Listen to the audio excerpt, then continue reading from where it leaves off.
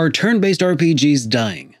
No, uh, at least I don't think so anyway, but things are changing. And not all of them are changing for the better. When turn based RPGs first started off back in the tabletop RPG days of Chainmail, which eventually became Dungeons and Dragons, and then the future iterations of that and the various evolutions from there, people took turns while simulating combat because of the dice rolls and attack and damage rolls and calculations that took some time to figure out. At this point, taking turns was necessary. This was where a certain split sort of dissected players into two different categories. Those who thought it was necessity, which then bred creativity, and those who thought it was a necessary evil. Either way, the division back then was kind of a moot point because there was really no alternative. Eventually, though, pen and paper RPGs were translated to a digital medium. Early computer RPGs tended to translate that pen and paper experience, including the turn based battle systems, only now players could act on behalf of each of the party members instead of having your friends do it. Then it happened. The hard and fast line that turn based was a necessity blurred, at first a little and then a lot, with the introduction of games like Dragon Slayer from Falcom and Hydlide shortly thereafter, the action RPG genre was established and solidified. You didn't have to take turns anymore, but at the cost of being able to control the entire party of characters. Action RPGs and then turn based RPGs split the role playing game genre in twain and whenever there's a split, there will be those who laud one side out to the detriment of the other. Action RPGs and turn based RPGs would evolve separately from then on and would grow to embrace different aspects of role playing while eschewing others. Turn based RPGs, with their ease of including large casts of characters, would often further embrace the storytelling and dramatic side of things, offering combat that could sometimes be equally contemplative. Fans of strategy RPGs and tactical RPGs like Tactics Ogre and Final Fantasy Tactics will assure you of that. Meanwhile, on the other side of the spectrum, action RPGs would include flashy and fast paced skill based combat. And when trying to appeal to a wider audience, the action RPGs definitely had an edge. Action RPG combat is a spectacle, it's fast, it's visceral. Turn based RPGs are slow, methodic, and can be pretty hard to understand if you're not already familiar with the concept of hit points and attack turns. Newcomers to the genre are often frustrated because they're coming from video games where their goal of the game is to not get hurt, to now they're being presented with a game in which your characters just stand there and take turns getting hurt. It's kind of like the difference between chess and fencing. You can easily watch a round of fencing and keep up more or less with what's going on with minimal knowledge beforehand. And it could look pretty cool too. To watch a match of chess, on the other hand, and appreciate the drama and really understand what's going on, you have to know what all of the pieces do and what they are and how they move. You might even have to be familiar with certain formations or patterns. But this doesn't make one inherently better or worse than the other. So, when it comes to attracting a new audience, action RPGs just sort of happen to have an edge.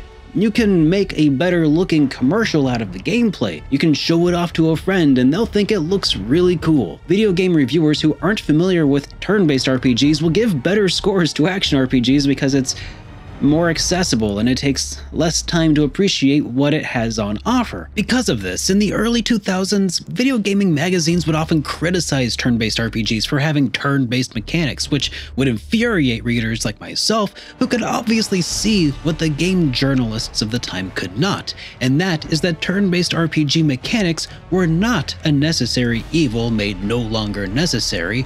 They were not an archaic vestigial appendage that should have been cast off long ago through evolutionary means of the series, for some of us, those turn based RPG mechanics are a feature, not a bug, and while an outsider's perspective can certainly be helpful in gauging a game's accessibility toward newcomers to the genre, it was absolutely irresponsibly disrespectful to fans of the genre and to the creators of those games. Video game journalists failed turn based RPG fans and would be RPG fans by poisoning the well for an entire generation of gamers against a perfectly enjoyable video game genre, one which I personally enjoyed above all others.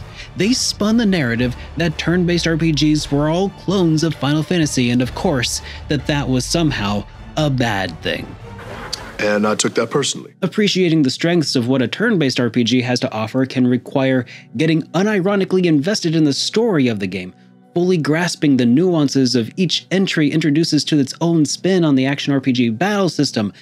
Being counters and marketing teams apply pressure to the development teams to improve sales by pushing for more action based elements.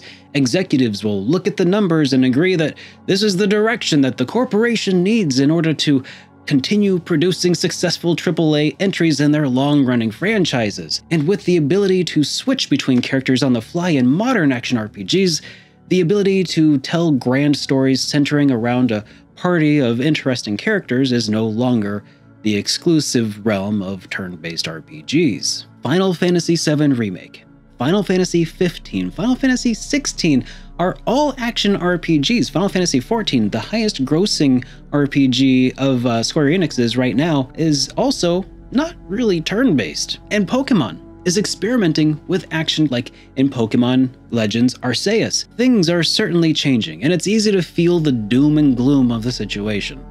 But I don't think that turn based is dead. Yakuza Like a Dragon, the latest title in a long running series, has embraced turn based mechanics and was a huge success for the series. Once underground niche RPG franchises are starting to gain newfound traction and adoration in the West, such as the Trails series. As Final Fantasy has been losing its relevance in the West, Persona and Shin Megami Tensei are continuing to gain traction. The indie turn-based RPG scene is absolutely flourishing, where it seems like a lot of really exciting new turn-based RPGs are coming out each and every year. And even from Square Enix, we're continuing to see them put out solid turn-based content with triangle strategy just around the corner. Pokemon, for all of its stubborn game design and storytelling tropes, is refusing to fix what ain't broken in their mainline entries, which are, of course, decidedly turn based. Furthermore, Final Fantasy has been flirting with the line of introducing action into their turn based battle systems since as far back as the introduction of the ATB in the Super Nintendo it's easy to trace the current direction of Final Fantasy all the way back to Chrono Trigger and Final Fantasy VI. Things are changing, but they've always been changing, and love it or hate it, turn based combat is here to stay, just the same way that platformers will always have jumping mechanics. Their popularity will wax and wane over time with the trends as they come and go, in the same way that the love of thoughtful and methodic challenging gameplay has allowed chess to endure through the ages so too will it allow turn based RPGs to remain a staple of the industry, so long as we are willing to continue financially supporting the developers who make them. I am Super Derek, and I make thoughtful and thought provoking videos for gamers who love RPGs, and I'll see you in the next one. Have a great day, everyone.